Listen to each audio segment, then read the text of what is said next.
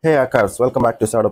Today we are exploring Shellfish, a phishing tool used for simulating real-world phishing attacks. As always, this tutorial is for educational purpose only. Remember, unauthorized uses of these tools is illegal and unethical. I do not encourage anyone to do these illegal activities with these tools. This is strictly for research and educational purpose. So let's know what is phishing. Phishing is a type of attack where it will trick users by imitating trusted websites. So let's consider our victim, let's say John. John receives an SMS that looks like very legitimate. It looks like it is from his bank. Let's say, and uh, in the email, in the SMS, it was mentioned warning him of suspicious activity.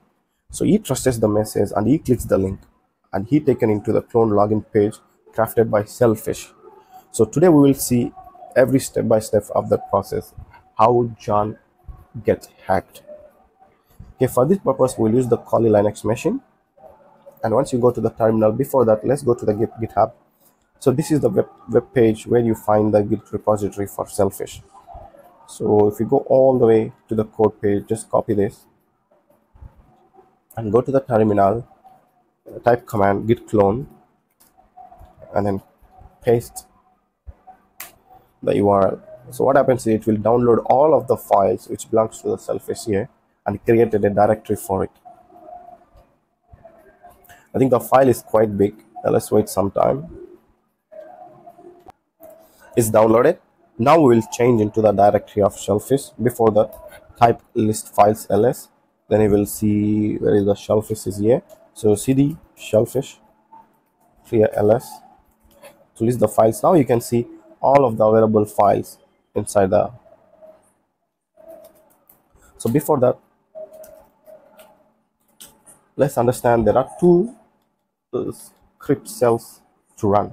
One is shellfish and one is update shell they are not highlighted because they do not have any permission to execute but we have to convert these files to execute. If you execute them without without giving permissions it will deny. You can see it so now what we do is we can type chmod plus x and then shellfish.sh and then another one will give it to update .sh clear. First I want to run update.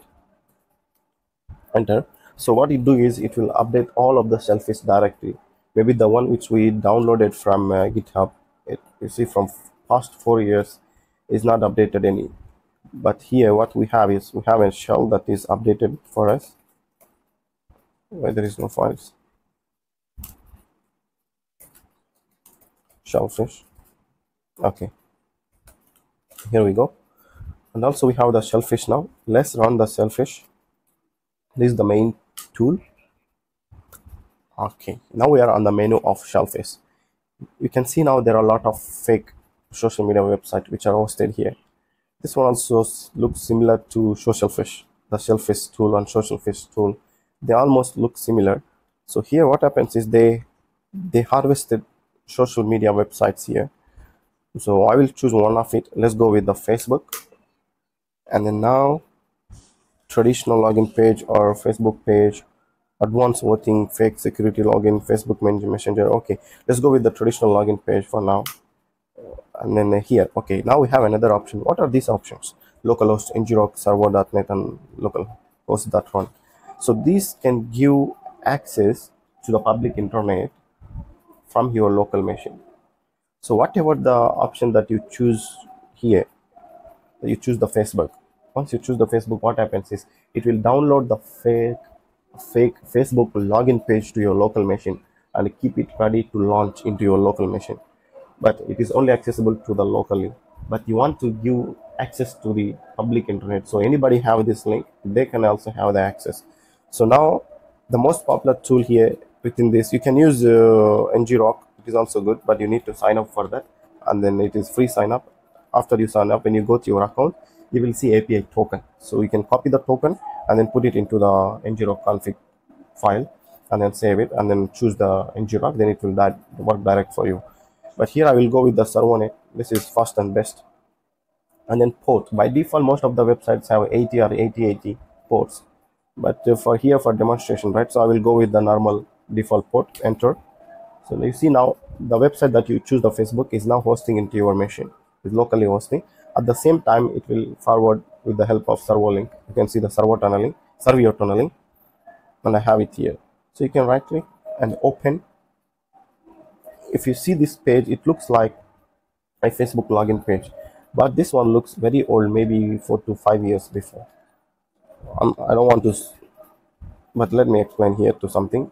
So here once you get you type shadow pentest the user definitely type shadow pentest and then click login. Immediately once you click login you will receive the account username and password. This is how the attackers capture your social media login username and password with phishing attacks. So this this all of this method is called credential harvesting. So when i when you after you you click login it will directly take you to the real website. So they will redirect it. But i don't want to choose this because this facebook website the one which we have is very old. So for that purpose i'm canceling this and then i'm running the shellfish again. Let me choose this time instagram and a traditional instagram and then i will choose Savio default port okay. So let's wait for at least 10 to 20 seconds then the link will be ready. Okay once you open the link it will take you to the instagram login page. This one also looks very old. Shadow pen test. Uh, you can see after you input the username and password it will take you to the instagram page which is real instagram it is redirected the link. But here we already capture the details for sure yes. There you go. Instagram instagram instagram instagram yes. So actually this is shellfish and uh, social fish they almost look very similar but they are very old. If you want to try you can try go to youtube. You can type shadow pen test okay this is my channel. In this channel you can go to playlist. In the playlist you can go to phishing attacks. Okay here you will see campfish and these are very updated one. You can go for yes every phishing tool. And the phishing tool every hacker should understand yes. This one is very good. It can bring you very advanced new trojan running social media website pages. So that it looks very real very very real so these tools what i'm demonstrating are just for educational purpose but the, those tools are not now available. They're very old. There is no updates on that too. So that is all for today. This is the wrap